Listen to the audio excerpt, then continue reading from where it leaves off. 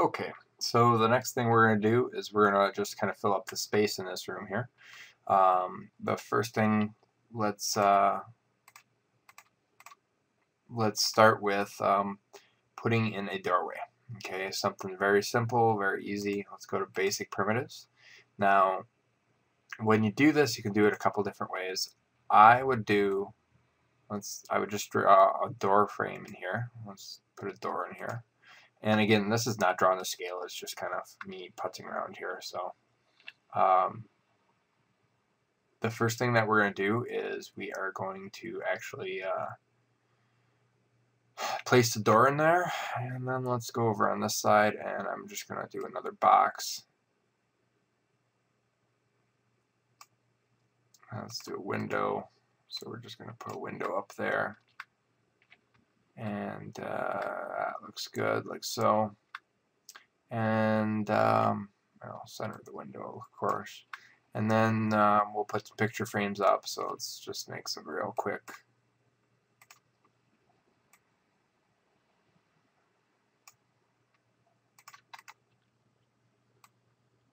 And let's uh, rotate this one 90 degrees. And let's move this back over here. Put this, move it up like so. So there's, we've got a picture frame. And so these are just, just placements for now. Um, and then the next thing we're going to do is let's zoom down here.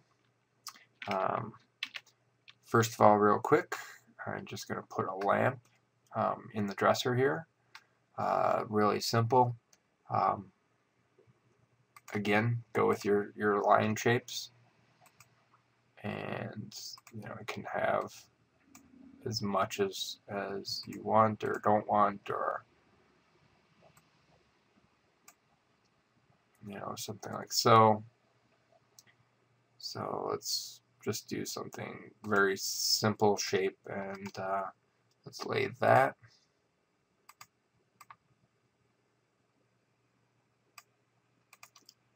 and uh, let's do minimum and there's our really ugly lamp so we're just going to put that up there um, something simple we can do um, and it's really really easy instead of doing a lampshade like this what we can do is actually just do a cylinder. Um, let's zoom in on this. I'm going to center the cylinder off of here and uh, like so.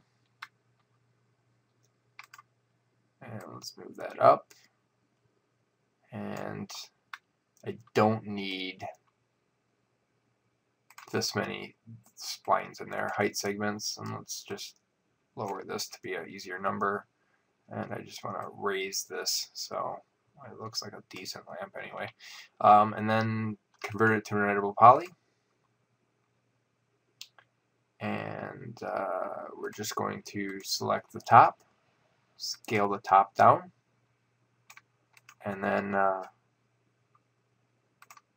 we can just delete the top roll down and delete the bottom so that's pretty much our lampshade.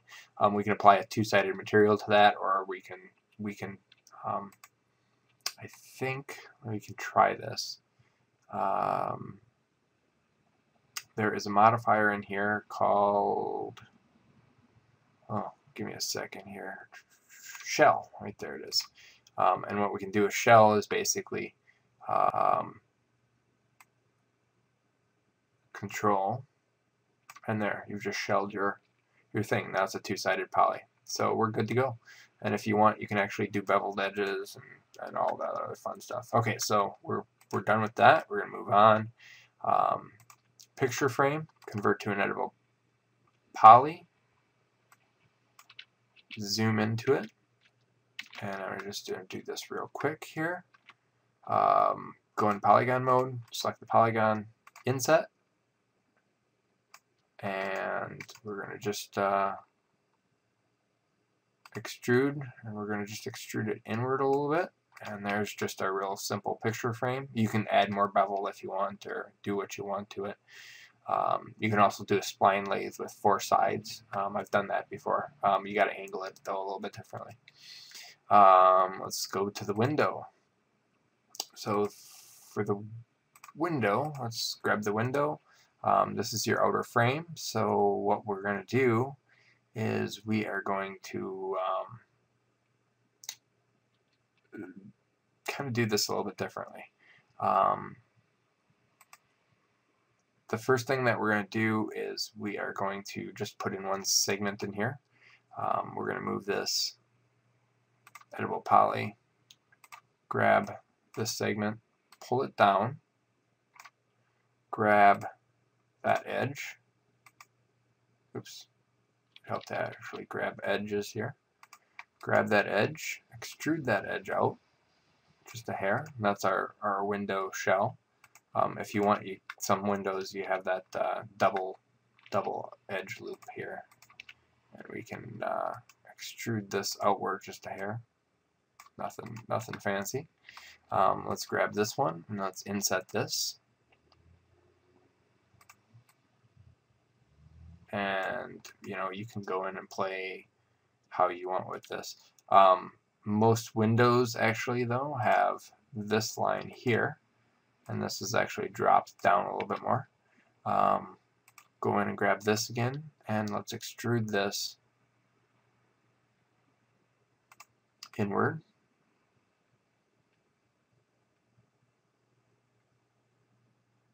Like so. And um, you know that's that's okay for now. Um, and then you know real simple actually. Let's just clone to an object. And then what we're going to do is we're going to grab this object in here. Um, grab the bottom element of this move it up and like so. And really quickly let's connect. And let's uh, we're going to go up to 2 we're going to move the 2 outward. We're going to grab let's see we're going to save that at 0 and say OK and then no let's see let's go OK let's grab this one and this one here again. And let's uh, do the same thing except we're going to go in reverse. Uh, connect. Instead of inside we're going to go outside like so. And say OK let's grab this one and let's uh, ring these. Again connect. Inside actually let's do outside here. And OK. Grab that, connect, and let's do the inside.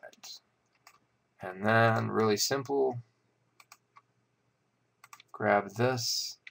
Now everything's selected. Hold it Alt, minus the four panels. And let's just bevel that. And hold in shift, drag, say OK, and let's move this inward a little bit. So there's your window. And if you want, you can paint your scene. We can we can hollow out the box. I can show you how to do that. Um, just want to go over here, do the door real quick. Um, actually, let's do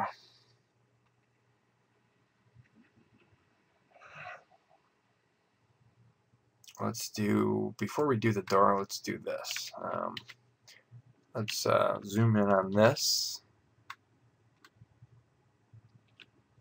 And let's do a, uh,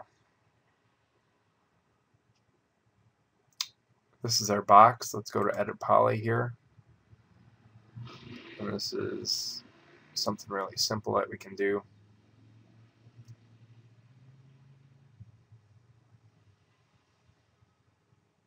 Uh, where is Edit Poly? Or is Edit Poly?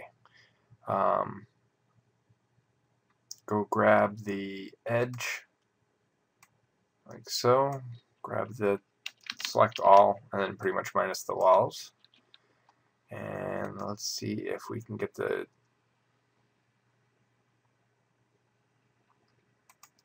oops, not connect.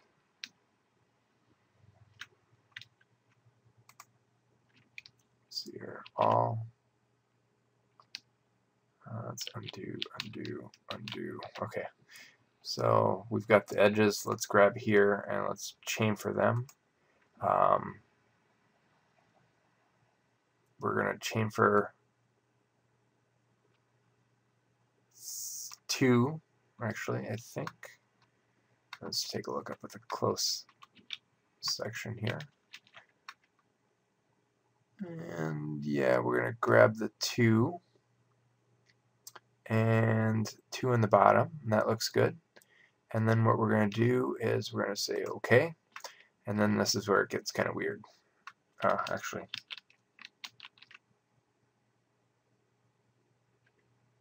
uh, yeah, we'll keep on the we'll keep the two on there. Um, what we're going to do is go in here.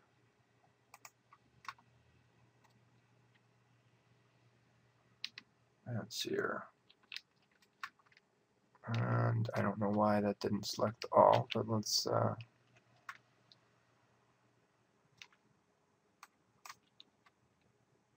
and then okay so there's that. Let's go in here.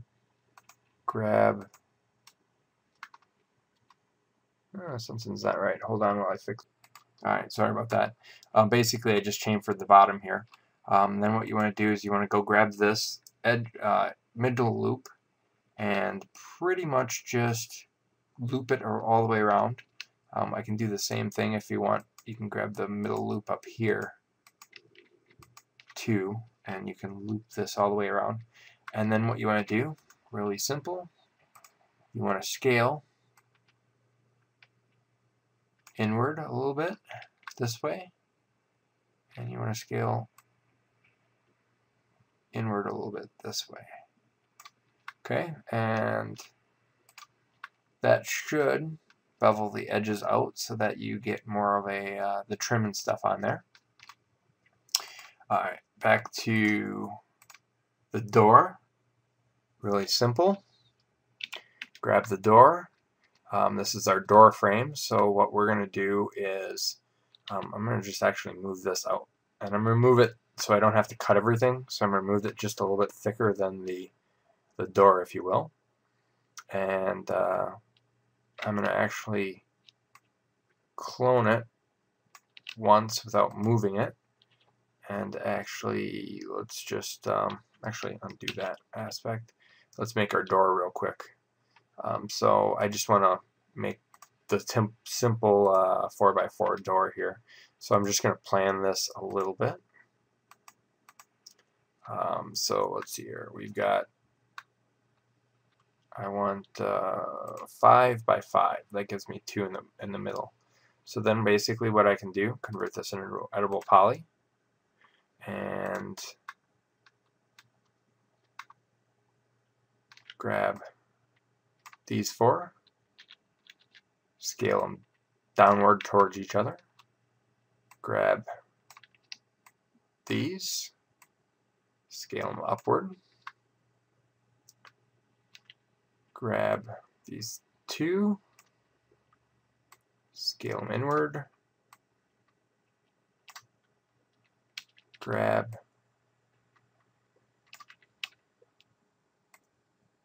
uh, like so.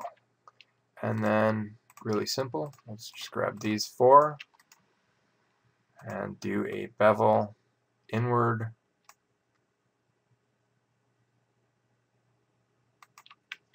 like so. And then you can put a door frame on there if you want. Um, the door frame is, uh, we can do a couple different ways. Um, the easiest, simplest way, uh, what I would do is simply just do a box. And I know this sounds, yeah, let's do it this way. Um, go here, go to the top, let's zoom in on the door at the top, Alright, and then let's create a line. Go straight, straight.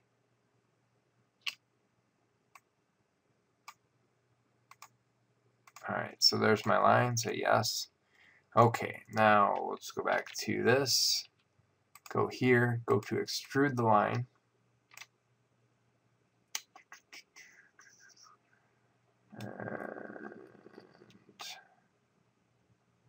Extrude. And we're just going to go up to like so. Now, the nice thing about this is, let's look at this. See, now you've got a lot of segments in here. You don't necessarily need to keep those segments. What we can do is um, we can actually um, move this up a little bit here. And then we can add an edit poly on there. And this is how you pretty much add your stack. So we grab this and um, move that like so. So it's a little bit with the door. And then this is where it kind of gets tricky. Now if we angle it like so, you're going to skew the, the door a little bit. So basically then what you have to do is you have to scale it back outward. Alright? Um, so for whatever you angle it, like so, if we want a 45 or close to it, you have to skew the angle. So, and you can kind of tell rough estimate. And then, um, so what we can do is extrude that edge a little bit, and this is where it gets kind of funky.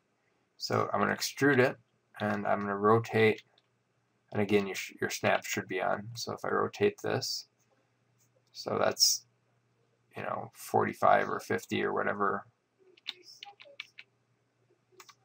whatever you need to be at move it downward, and again, scale accordingly.